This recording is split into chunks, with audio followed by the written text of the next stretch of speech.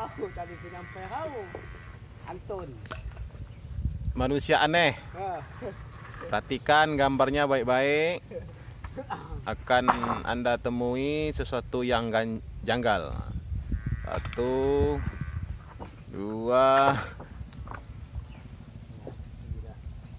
tiga.